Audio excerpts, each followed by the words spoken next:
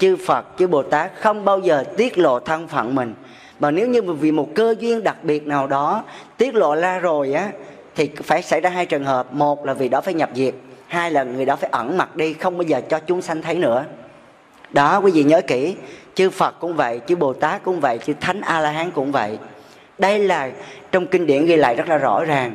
Cho nên ngày hôm nay, thầy nói thêm vấn đề thời sự một chút.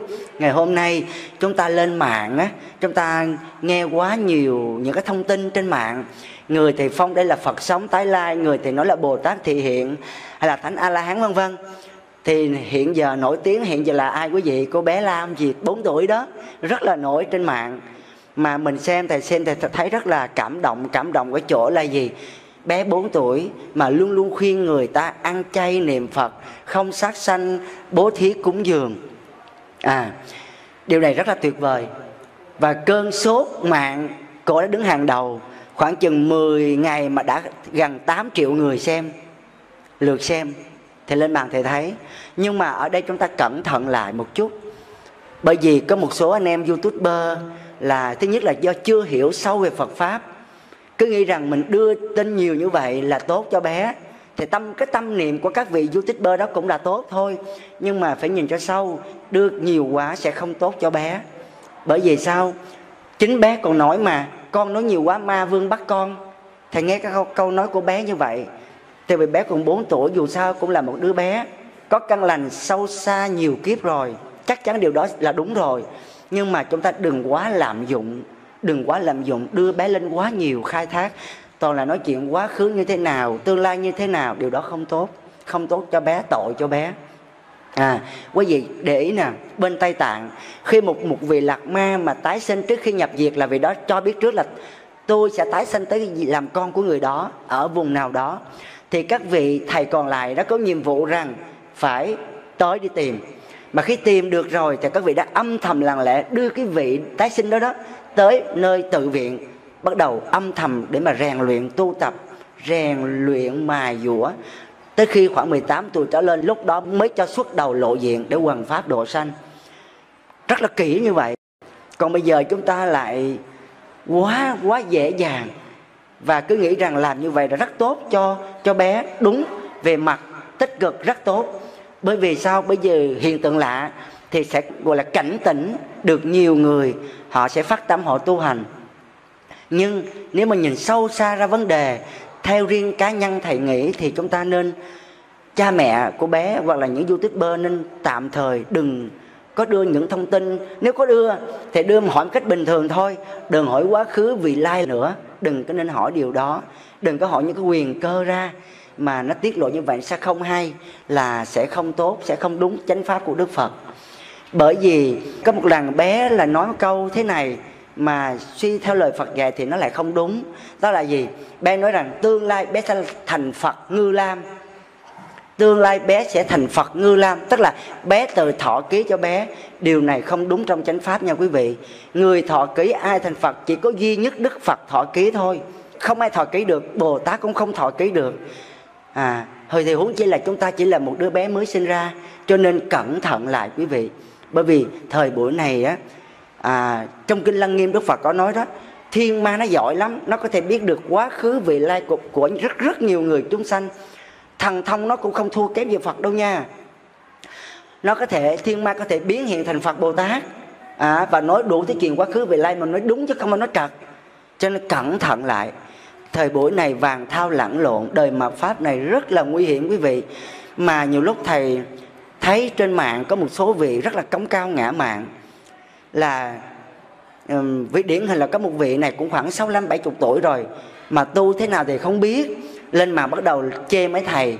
Tự nhiên đêm mấy thầy ra so sánh với đứa bé đó nói gì mấy thầy chắc gì được như đứa bé đó.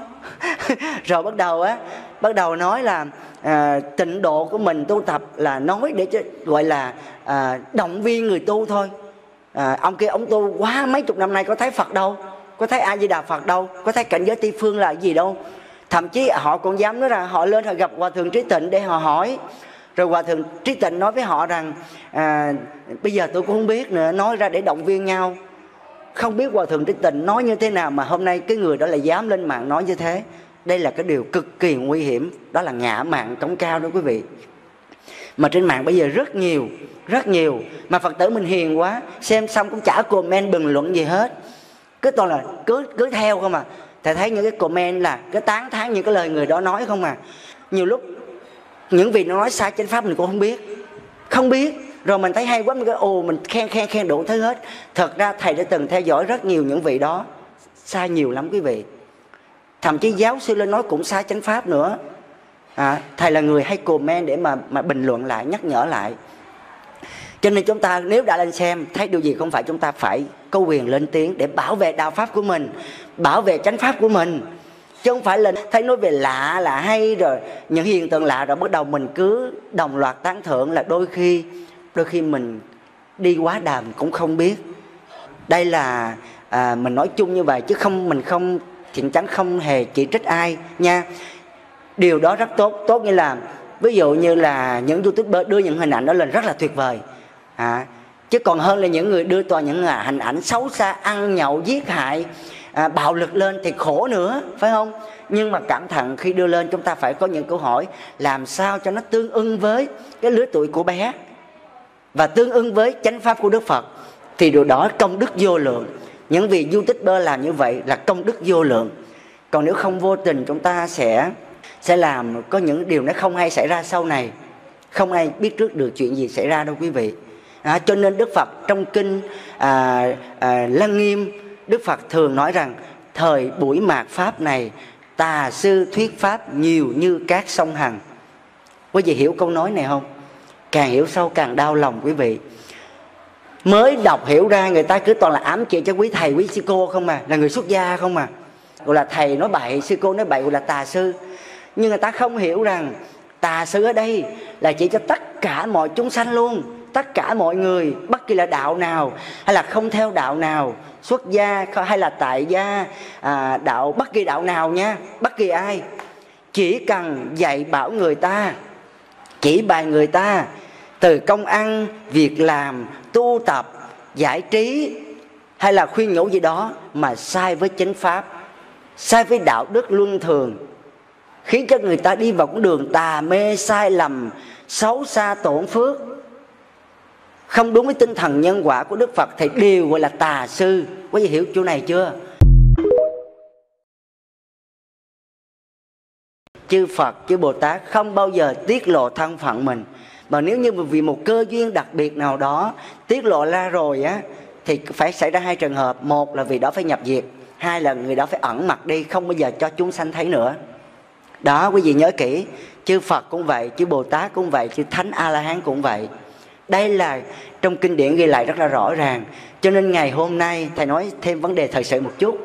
Ngày hôm nay, chúng ta lên mạng á, chúng ta nghe quá nhiều những cái thông tin trên mạng.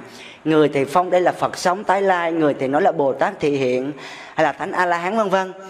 Thì hiện giờ nổi tiếng, hiện giờ là ai quý vị? Cô bé lam gì 4 tuổi đó, rất là nổi trên mạng. Mà mình xem, thầy xem, thầy thấy rất là cảm động cảm động ở chỗ là gì? Bé 4 tuổi mà luôn luôn khuyên người ta ăn chay niệm Phật, không sát sanh, bố thí cúng dường. À, điều này rất là tuyệt vời. Và cơn sốt mạng cổ đã đứng hàng đầu. Khoảng chừng 10 ngày mà đã gần 8 triệu người xem lượt xem. Thì lên bàn thầy thấy. Nhưng mà ở đây chúng ta cẩn thận lại một chút. Bởi vì có một số anh em youtuber là thứ nhất là do chưa hiểu sâu về phật pháp cứ nghĩ rằng mình đưa tin nhiều như vậy là tốt cho bé. Thì tâm cái tâm niệm của các vị youtuber đó cũng là tốt thôi.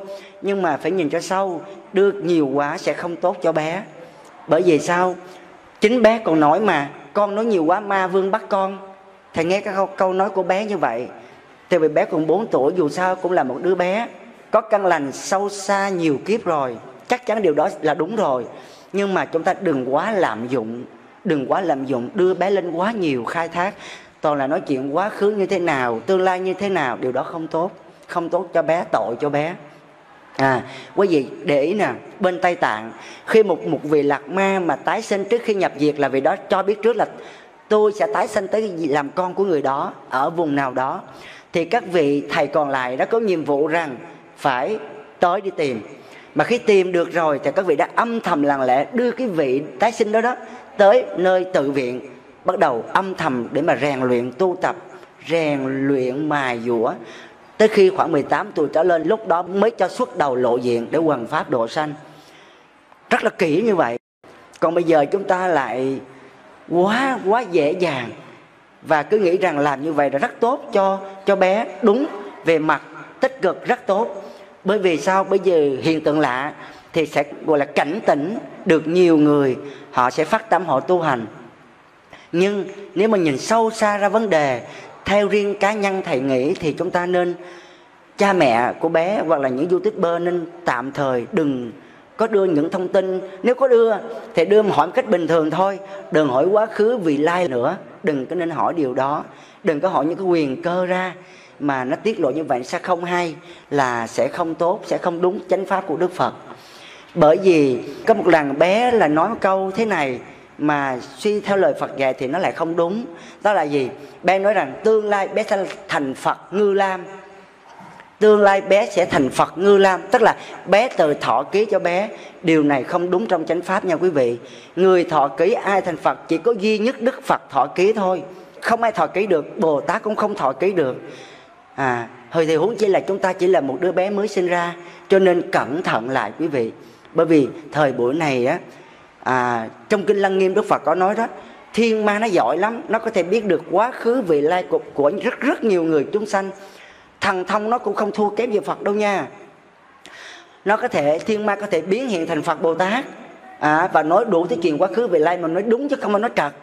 Cho nên cẩn thận lại thời buổi này vàng thao lẫn lộn đời mạt pháp này rất là nguy hiểm quý vị. Mà nhiều lúc thầy thấy trên mạng có một số vị rất là cống cao ngã mạng là um, vị điển hình là có một vị này cũng khoảng 65 70 tuổi rồi mà tu thế nào thì không biết. Lên mà bắt đầu chê mấy thầy. Tự nhiên đêm mấy thầy ra so sánh với đứa bé đó. Nói gì mấy thầy chắc gì được như đứa bé đó. Rồi bắt đầu á bắt đầu nói là à, tịnh độ của mình tu tập là nói để cho gọi là à, động viên người tu thôi. À, ông kia ông tu quá mấy chục năm nay có thấy phật đâu có thấy a di đà phật đâu? Có thấy cảnh giới tây phương là gì đâu? Thậm chí họ còn dám nói rằng họ lên họ gặp hòa thượng trí tịnh để họ hỏi. Rồi hòa thượng trí tịnh nói với họ rằng à, bây giờ tôi cũng không biết nữa nói ra để động viên nhau. Không biết hòa thượng trí tịnh nói như thế nào mà hôm nay cái người đó lại dám lên mạng nói như thế. Đây là cái điều cực kỳ nguy hiểm đó là ngã mạng cống cao đó quý vị. Mà trên mạng bây giờ rất nhiều rất nhiều. Mà phật tử mình hiền quá xem xong cũng chả comment bình luận gì hết cứ toàn là cứ cứ theo không à. Thầy thấy những cái comment là cái tán thán những cái lời người đó nói không à. Nhiều lúc những vị nó nói sai chánh pháp mình cũng không biết. Không biết. Rồi mình thấy hay quá mình cứ ồ mình khen khen khen đủ thứ hết. Thật ra thầy đã từng theo dõi rất nhiều những vị đó. Sai nhiều lắm quý vị. Thậm chí giáo sư lên nói cũng sai chánh pháp nữa. À, thầy là người hay comment để mà mà bình luận lại nhắc nhở lại cho nên chúng ta nếu đã lên xem thấy điều gì không phải chúng ta phải có quyền lên tiếng để bảo vệ đạo pháp của mình bảo vệ chánh pháp của mình. Chứ không phải là thấy nói về lạ là hay rồi những hiện tượng lạ rồi bắt đầu mình cứ đồng loạt tán thưởng là đôi khi đôi khi mình đi quá đàm cũng không biết. Đây là à, mình nói chung như vậy chứ không mình không thiện chánh không hề chỉ trích ai nha. Điều đó rất tốt tốt như là ví dụ như là những youtuber đưa những hình ảnh đó lên rất là tuyệt vời à, chứ còn hơn là những người đưa toàn những à, hình ảnh xấu xa ăn nhậu giết hại à, bạo lực lên thì khổ nữa phải không? Nhưng mà cẩn thận khi đưa lên chúng ta phải có những câu hỏi làm sao cho nó tương ưng với cái lứa tuổi của bé. Và tương ưng với chánh pháp của đức phật thì điều đó công đức vô lượng. Những vị bơ làm như vậy là công đức vô lượng. Còn nếu không vô tình chúng ta sẽ sẽ làm có những điều nó không hay xảy ra sau này. Không ai biết trước được chuyện gì xảy ra đâu quý vị à, cho nên đức phật trong kinh à, à, lăng nghiêm đức phật thường nói rằng thời buổi mạt pháp này tà sư thuyết pháp nhiều như các sông hằng. Quý vị hiểu câu nói này không? Càng hiểu sâu càng đau lòng quý vị. Mới đọc hiểu ra người ta cứ toàn là ám chỉ cho quý thầy quý sư cô không mà là người xuất gia không mà. Gọi là thầy nói bậy sư cô nói bậy gọi là tà sư.